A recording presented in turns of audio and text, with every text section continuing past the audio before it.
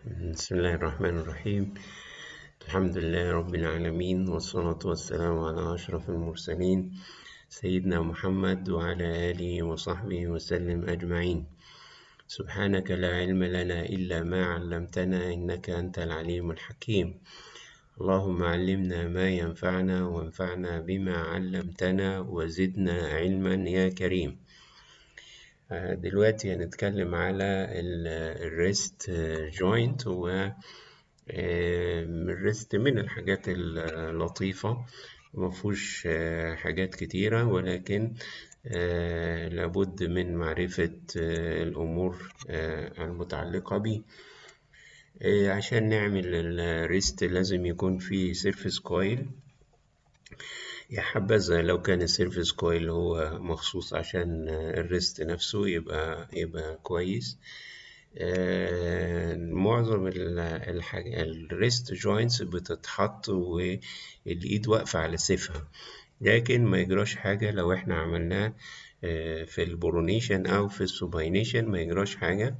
المهم إن إحنا آه يكون المريض نايم مستريح ويكون ال wrist متثبت بحاجات عشان ما يتهزش وهي ال indications نفس الحكاية ال pain وال trauma وال swelling وإذا كان في infection أو أو tumor الأجهزة طبعا كلكم عارفينها اللي هو ال closed MRI وال open MRI وال extremity MRI جدع جدا في ال wrist وأهم حاجة الله يهديكم. ودي نقطة مهمة جدا هي موضوع ال field view ال joints الصغيرة اللي هي زي ال wrist وزي ال elbow وزي ال ankle المفروض إن إحنا نستخدم field view صغير علشان خاطر بس الصور تطلع كويسة تنفع تتقري. أما إن أنا أعمل ال wrist على field view عشرين سنتي أو زي ما بشوف تلاتة وعشرين سنتي العملية صعبة جدا وبتصعب علينا القراية بشكل مرعب. وتقول لك طب ما أنت كبر الصورة وشوف اللي على مزاجك عمرها ما بتطلع زي لما يكون ال field view بالمظبوط. فإحنا بنستغل إمكانيات ال MR وهنعمل axial و sagittal و coronal في ال wrist ال coronal المهم وال axial المهم. ال sagittal الحقيقة بنستخدمه للصوابع. لو كان عندنا مشكلة في ال fingers فال sagittal من الحاجات المهمة. لكن هو في ال wrist بعض الناس أوجدت له يعني بعض الحاجات. لكن ديت مش واقعة في النطاق بتاع سعادتكم. الريست الأول بنعمل أكزيال والأكزيال دوت بنعتبره زي الشمامة أو زي المانجا أو زي أي حاجة تعجبك وبنحدد درجة الميل بتاعته وبنعمل على الدرجة ديت بنعمل الكورونا وبعدين ناخد عمود عليها ونعمل ال sagittal هما دولت الطريقة بتاعة ال wrist بمنتهى البساطة اللي في الدنيا. بتعتبر إن ال axial زي الشمامة. وتشوف هو مميل إزاي. لو كان عدل خلاص عدل. لو كان مميل شوية تشوف درجة الميل. موازي ليها يبقى coronal العمودي عليها يبقى يبقى sagittal طبعا أنت عارف إن ال scaphoid واحدة من الحاجات المهمة جدا في ال wrist والمعرضة للكثير من المشاكل وممكن أنت tension عليها وتعمل مقاطع دي تبقى حزلقة يعني من عندك على ال scaphoid نفسها علشان تبين إذا كان فيها كسر إذا كان في vascular necrosis أو أو الحاجات اللي أنت فاهمها. طبعا طالع موضة دلوقتي موضوع التلاتة تسلا وال وإنك أنت لازم تعمل علشان ال resolution يبقى أعلى والكلام دوت. كل الناس عارفة إن التلاتة تسلا ما بيضيفش حاجة جبارة جدا على الواحد ونص. وده ده, طبعا صورة ال wrist هو معمول على سبعة تسلا. وطبعا سبعة تسلا دي دي تجارب بس مش في ال clinical practice لأن المريض ما بيقدرش يستحمل ال high field دوت ويقعد جواه فترة الفحص لأنه مؤذي جدا على الجسم ال magnetic field العالي جدا زي ما أنا قلت لكم قبل كده. الحاجات اللي هي سودة في ال T1 وال T2 الليستة اللي إحنا حافظينها اللي هم the cortex of the bone ligaments and tendons calcification. وبعدين هنحط عليهم ال triangular fibrocartilage اللي هو الحتة دي. المفروض إن ال wrist يبقى معمول بال surface بتاع ال radius وال surface بتاع القلم من حكمة ربنا إن ال surface بتاع القلمة راجع لورا شوية والتوصيلة ديت بتتم عن طريق هذا الغضروف اللي هو يشبه قوي ال disc واسمه triangular fibrocartilage وهو triangle فعلا يعني مثلث بس في ال axial زي ما هوريه لك بعد كده.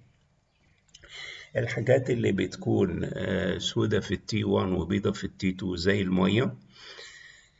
الحاجات اللي بتكون عكس المية أبيض في ال T1 وأسود في ال T2 زي ال fat. ال pulse sequences اللي إحنا بنستخدمها الحقيقة هي ال T1 وال STIR. كان في زمان ال gradient بطلنا تقريبا نستخدمه لكن ما زال ممكن نستخدم ال T2 weighted image بس الحاجتين دولت هم أكتر حاجة إحنا مركزين عليها. إزاي بتعرف ال pulse sequence بلون ال bone marrow ال bone marrow أبيض يبقى T1 أقل بياضا يبقى T2 مسود هبابة يبقى STIR image ال anatomy بتاع ال wrist ممكن تعتبر إن هو سهل وممكن تعتبر إن هو معقد. على حسب يعني إيه إمكانياتك الحالية. وأنا هقول لك الاتنين وأنت اعمل اللي في نفسك. أول حاجة في ال wrist هي ال distal radioulnar joint. ال ulna بتتمفصل مع ال radius عن طريق حفرة كدهوت موجودة في ال radius والحفرة دي بتتشاف كويس في ال axial اللي أنت شايفها ديت كده ودي ال head بتاعت آه بتاعت القلب وفي ال coronal بتلاقي المفصل أهو موجود في الحتة ديت و ال triangular fibrocartilage هو اللي أنت شايفه قصاد ال ulna على طول. يبقى دوت ال joint اللي إحنا قاصدينه اسمه ده distal radioulnar joint لأن في واحد proximal عند ال elbow وبعدين radiocarpal joint اللي هو ال joint ما بين ال radius وما بين ال carpal bones اللي هما ال scaphoid وال lunate. وبعدين ده midcarpal joint اللي هو ال joint ما بين الصف الأولاني من ال carpal bones والصف التاني من ال carpal bones هما دولت التلات مفاصل اللي موجودين طبعا قدام بقى هتلاقي ال carpometacarpal اللي هو تمفصل ال carpal bones مع ال metacarpals وبعدين metacarpophalangeal زي ما قلنا بعد كده قبل كده في ال arthropathies ال radiocarpal joint اللي هو ما بين ال radius وما بين ال carpal bones ال carpal bones زي ما حفظناهم قبل كده اللي هما ال scaphoid وال lunate وال triquetral وفوقيها ال pisiform وبعدين الترابيزيوم والترابيزويد والكابيتيت والهاميت اللي فيها عين. كل الكلام دوت قلناه قبل كده. واللي بيكمل ال articular surface بتاع ال radius هو ال triangular fibro fibrocartilage عندنا طبعا كمية ضخمة جدا من ال ligaments اللي موجودة في ال wrist. لكن إحنا عاوزين نعرف اتنين فقط منهم اللي هو الليجمنت ما بين السكافايد والليونيت والليجمنت اللي ما بين الليونيت والتراكيترال. ال ligament اللي ما بين ال lunate وال triquetral ممكن إيه تغض الطرف عنه شوية. لكن اللي ما بين ال scaphoid وال lunate مهم. دوت اسمه scapholunate ligament وهو في قوة ال anterior cruciate ligament يعني ligament محترم جدا جدا. وده مكان ال ligament التاني اللي هو اسمه lunotriquetral اللي هو ما بين ال lunate وال triquetral لما ال scapholunate ligament بيتقطع المسافة ما بين ال scaphoid وال lunate بتوسع ودي ممكن تشوفها في ال X-ray فتلاقي إن المسافة ما بين العظم وبعضه متشابهة ما عدا الحتة ديت وديت معناها إن ال scapholunate ligament اللي كان ماسك العظمتين دولت في بعض اتقطع فكل واحدة راحت في ناحية. المسافة ديت اسمها scapholunate interval. يعني المسافة ما بين ال scaphoid وما بين ال lunate وسعت نتيجة إن ال ligament اتقطع. ال ligament بيتقطع بكذا طريقة. ممكن يتفصل من عند ال lunate وممكن يتفصل من عند ال scaphoid وممكن يتشق من النص. زي ما أنت شايف كده ال ligament ده مشقوق من النص. بس الحاجات ديت بتبقى محتاجة arthrography علشان نعرف نشوفها عشان نعرف نشوفها كويس. فمثلا هنا ال ligament أهو هو عامل زي المثلث عشان يعرف يدفس نفسه ما بين العظمتين. فمقطوع من عند ال scaphoid وماسك من عند ال lunate الكتب بتقول إن المسكة بتاعته في ال scaphoid أضعف من المسكة بتاعته في ال lunate عشان كده ديت هي غالبا اللي بتتقطع. ملناش دعوة. إحنا لينا ان ال ligament اتقطع والمسافة ما بين ال scaphoid وال lunate بقت أوسع. نيجي بقى لل carpal tunnel. ال carpal tunnel اللي هو النفق اللي بيمر فيه بعض الحاجات اللي موجودة على ال wrist من قدام. ال carpal tunnel معمول عن طريق آه، انت عارف الصف بتاع العظم اللي هو الأخراني اللي هو كان فيه trapezium و trapezoid و capitate و hamate. وقلت لك إن ال hamate مشهورة قوي بال hook بتاعتها اللي هي عاملة زي ال hook فعلا كده. ال trapezium عندها hook بس سخيف. دوت اسمه tubercle of the trapezium. ممكن تقول عليه ال hook ما يجراش حاجة بس هو اسمه ال tubercle ال tubercle دوت وال hook ده بيتوصل ما بينهم نسيج ليفي اسمه flexor retinaculum. يعني الغشاء اللي, بيب... اللي بيغطي ال carpal tunnel طيب ال carpal tunnel دوت فيه إيه؟ فيه ال tendons ال tendons دولت عبارة عن إيه؟ الحاجات اللي بتتني الصوابع ده flexors ده flexor ال flexors tendons وفي منهم طبعا آه أربعة باسمهم flexor digitorum profundus وأربعة تانيين اسمهم flexor digitorum superficialis وأنت مش مطلوب منك تعرف ده من ده. خالص بتاتا. كل المطلوب منك إنك تعرف الرمادي ده لأن الرمادي دوت مش tendon ده ال median nerve. وهو ده أصل ال carpal tunnel يعني ال median nerve لما يتزنق يحصل ال carpal tunnel syndrome. ف بطريقة بسيطة مش عاوز أعقد لك الدنيا. لما تبص على ال carpal tunnel بتدور على كورة رمادي. ما هياش كورة سودا الكورة السودا دي tendons لكن دوت هو ال median nerve. فوقيه على طول هتلاقي كورة سودا بس الكورة السودا دي مخصوصة بالصباع الكبير. يعني كل دول flexors بس دوت flexor للصباع الكبير اسمه flexor pollicis longus عاوز تعرفه تعرفه. مش عاوز pollicis يعني الصباع الكبير. عاوز تعرفه يجوز. مش عاوز ما, ما, ما فيش أي غضاضة خالص في هذا الموضوع. هي ديت ال flexor retinaculum يبقى ال flexor retinaculum مشدود ما بين ال hook of hamate وال tubercle of the trapezium. والزرقاء دي هي النسيج الليفي اللي هو اسمه flexor retinaculum واللي جوه دولت هما ال flexor tendons هلا بيلا بيلا بيلا ملناش دعوة. واللي مش أسود فيهم اللي هو الرمادي شوية هو دوت ال median nerve.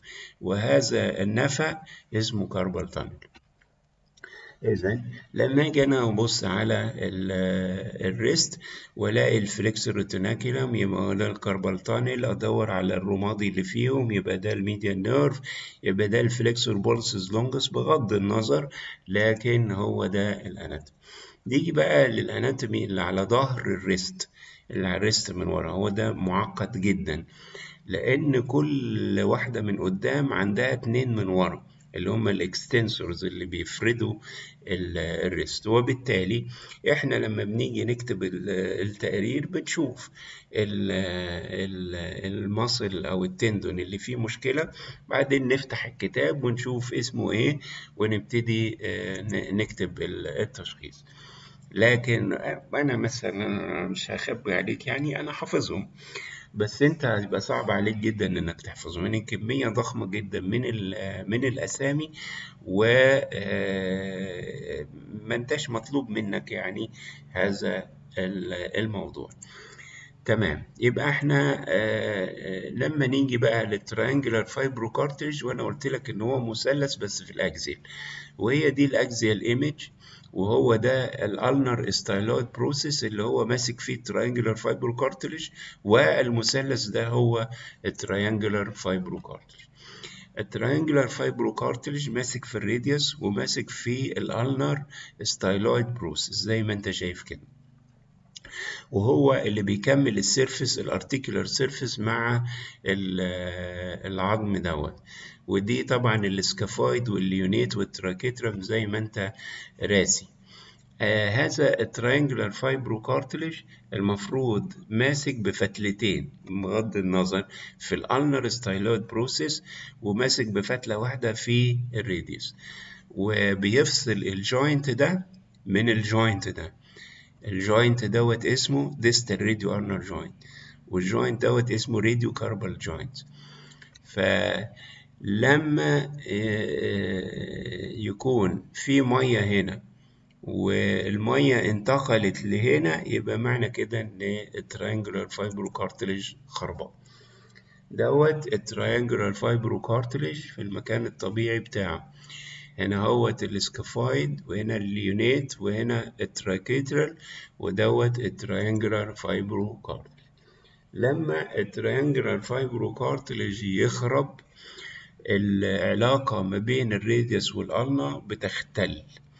ف طبقا للي حصل ممكن يحصل إن ال ulna تطلع لقدام أو ترجع لورا على حسب.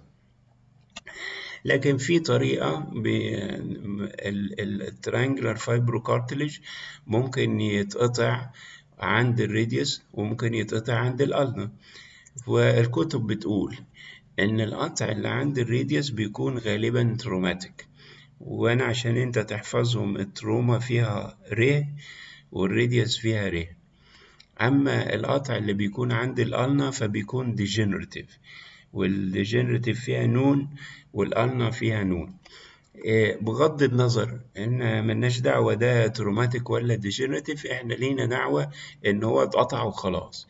فأنت عندك هنا في الصورة ادي ال triangular fibrocartilage المفروض يكمل لحد هنا عشان يمسك في ال radius بقى في فجوة جامدة جدا في ال triangular fibrocartilage يبقى مقطوع. مقطوع من عند أنهي ناحية؟ من عند ال radius طيب. دوت واحد من الجماعة بتوع المصارعة وال triangular fibrocartilage اتقطع في النص اتخرم هنا في النص. فالحتة ديت سليمة والحتة ديت سليمة وفي قطع في النص خلى المية اللي هنا تشر هنا. يبقى دوت اسمه central tear أو central disc tear بغض النظر لكن اللي أنا عاوز أقوله لك ان ال triangular fibrocartilage ممكن يتقطع من هنا أو من هنا أو من النص. وده هو central perforation أو central tear موجود في ال triangular fibrocartilage عندنا حاجة اسمها ulnar variance يعني علاقة ال ulna بال radius يفترض إن هما الاتنين قريبين من بعض. لكن لما ال ulna تنزل لتحت اسمها negative ulnar variance. لما ال ulna تفط لقدام كده شوية اسمها positive ulnar variance. يبقى لما تكون راجعة عن ال articular surface بتاع ال radius اسمها negative ولما تكون باظة عن ال articular surface بتاع ال radius اسمها positive ulnar variance. طيب مين الشخصية اللي موجود في الحتة ديت؟ ال triangular fibrocartilage فهو اللي واقع في الخناقة ما بين الاتنين دول. فلما ال ulna تطلع لقدام كده يبقى اسمه positive ulnar variance وال triangular fibrocartilage ممطوط على الآخر خالص بس لسه سليم ما جرالوش حاجة. فديت اسمها positive ulnar variance و deformity أو stretching of the triangular fibrocartilage ساعات لما ال ulna تطلع لقدام بتقابل في وشها ال lunate bone فتقعد تطقش فيها تطقش فيها تطقش فيها. مين اللي في النص؟ ال triangular fibrocartilage فال lunate بتتأثر وال triangular fibrocartilage بيتأثر. الحاجتين دولت مع بعضهم اسمهم ulnar impaction syndrome. يعني الألنا زنقت الراديوس في الكورن زنقت الليونيت الألنا زنقت الليونيت اسمه ulnar impaction syndrome عشان تشخص ال syndrome دوت لازم تكون ال ulna طالعة لقدام يعني positive ulnar variance. ويكون في changes في ال lunate bone في الحتة اللي بتواجه ال ulna على طول. ويكون ال triangular fibrocartilage متضايق جدا أو مقطوع. آدي مثال. ال ulna طلعت لقدام. وال lunate فيها bone marrow edema أسود في ال T 1 أبيض في ال T 2 وال triangular fibrocartilage حتة سليمة والباقي كله مقطوع. دوت اسمه ulnar impaction syndrome. بعض الكتب بتقول عليه ulnar abutment syndrome بس ال impaction أسهل شوية آدي ال triangular fibrocartilage مقطوع من أول هنا لحد هنا وال ulna طالعة بالنسبة لل radius وال lunate في الحتة المقابل لل ulna فيها bone marrow edema. نفس الحكاية هنا. يبقى إحنا عندنا ال ulna طلع لقدام ال lunate فيها مشاكل وال triangular fibrocartilage مقطوع. نيجي بقى ل carpal tunnel syndrome carpal tunnel يعني ال median nerve مزنوق. أي حاجة في ال carpal tunnel ممكن تزنق ال median nerve زي إن ال tendons دول جه فيهم tenosynovitis وكله عبى مية. إن حصل طلع tumor جوه ال carpal tunnel lipoma fibroma بلولو لولولو. أي حاجة من هذه الحاجات. فبتزود الضغط جوه ال carpal tunnel. مين اللي ما يحبش الضغط؟ ال ulnar nerve فال ulnar nerve ساعتها هيبتدي يزمجر. وأول ما يزمجر بيبان عليه بعض العلامات إن هو متضايق جدا. هذا ال carpal tunnel مشهور قوي في الستات أكتر من الرجالة وممكن يكون bilateral في نص الحالات وغالبا ال average age بتاعه بيكون حوالين الخمسة وأربعين سنة. ال ulnar nerve علشان يكون متضايق بيحصل فيه أي حاجة من دول. nerve swelling يعني ينتفش. nerve flattening يعني يتبطط. Increase signal في ال T 2 يعني بدل ما هو رمادي في ال T 1 وال T 2 يبقى أبيض. وبعدين bowing of the flexor retinaculum ال flexor retinaculum من كتر الضغط بتتقوص وتتقوص كده. ديت العلامات بتاعة ال carpal tunnel فأنت جيت هنا لقيت ال median nerve متبطط زي ما انت شايف كده. وال flexor retinaculum متقوس. يبقى فيه carpal tunnel أسباب ال carpal tunnel لا تعد ولا تحصى ولكن أشهر واحد على الإطلاق إنه ملوش سبب. يعني السبب بتاعه غير معروف. لكن tenosynovitis ممكن يعمل كده. Inflammatory lesions زي ال rheumatoid وال gout وخلافه ال tumors زي ال neurofibroma وال fibrolipoma معرفش مين وال fat اللي جوه ال carpal tunnel ممكن يكبر في الناس اللي عندهم acromegaly ما هو عنده كبر في كل حتة فبالمرة يكون ال fat كبير. المهم يعني بغض النظر إذا كان السبب موجود أو مش موجود فإحنا بنشخص ال carpal tunnel بأربع حاجات. ال median nerve نمرة واحد يا إما يتخن يا إما يرفع. يعني يبقى swelling يا إما flattening وبعدين ال signal بتاعته تتغير من الرمادي إلى ال bright signal وبعدين ال flexor retinaculum تتقوص. نيجي بقى يبقى دي, العلامات بتاعة الايه بتاعة ال carpal tunnel وإحنا في في ال MR بتاع ال wrist بنبقى محتاجين ال axial يكون في T 1 ويكون في T 2 أو STIR على حسب الظروف. عندنا ورم أنا كنت فاكر زمان إن هو نادر الحدوث. موجود في ال median nerve اسمه fibrolipoma أو fibrolipomatous hamartoma of the median nerve من من كلمة fibro يعني fibrous tissue lipoma يعني fat و hamartoma يعني لخبطة ما بين الاتنين دولت وبعضهم النتيجة إن ال median nerve بيبقى infiltrated ب fibrous tissue و fat فال median nerve اللي انت كنت شايفه صفيف جدا أيام زمان بقى قد الحمار زي ما انت شايف كده. كبير جدا ومبيض في ال T 1 ومبيض في ال T 2 نتيجة ال fat اللي جواه. وهتلاقيه منقط كده نتيجة إن الخطوط النقط السوداء دي هي ال fibers بتاعة ال median nerve. أما البياضة اللي حواليه ديت فهي ال fat اللي دخل جوه ال median nerve. أنت هتقول لي يعني معقول ال median nerve يبقى 8 9 10 أضعاف حجمه هو ده اللي بيحصل. ده ما يعتبرش ورم لأنه هو يعني إيه ال hamartoma على فكرة ما هياش ورم. ال hamartoma معناها إن في normal cells بقت موجودة في abnormal location بغض النظر هذا البتاع بيشبهوه بالسباكيتي. آه وطبعا السباكيتي مش في الأكزيال السباكيتي في الكورونال أو في الساجيتال فأنت بتلاقي الخطوط السوداء هي ال fibers بتاعة ال nerve. أما البيضة ديت هي عبارة عن الإيه ال fat اللي نزل جوه ال nerve.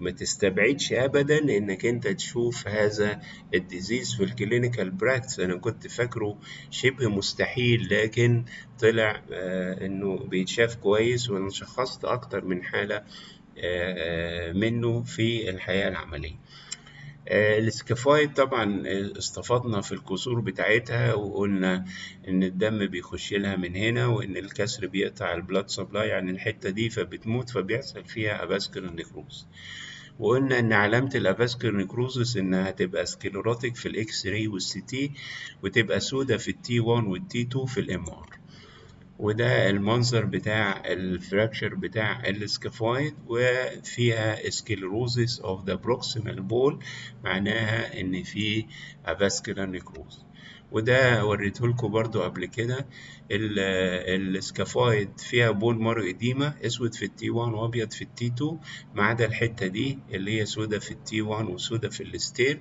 يعني معنى كده إن في avascular necrosis من الحتت كمان اللي بيحصل فيها avascular necrosis ال lunate ال lunate ال avascular necrosis بتاعه اسمه Kienböck disease بغض النظر. اسمه lunate avascular necrosis وبيمر بأربع مراحل يشبه جدا جدا المراحل بتاعة ال ankle اللي هو ال talus.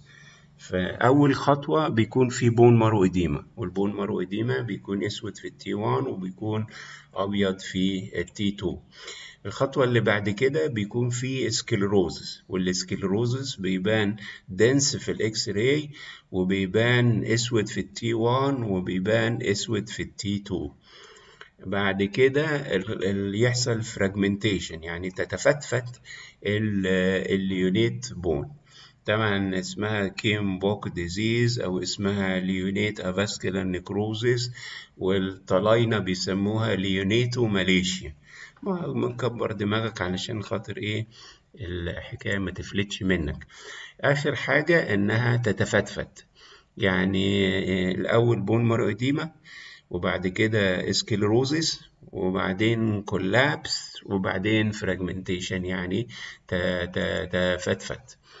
ال ganglion cyst اللي هي كرة مليانة synovial fluid منتشر الحقيقة حوالين ال wrist من ظهر ال wrist ومن بطن ال wrist وكده وهو سهل جدا في التشخيص.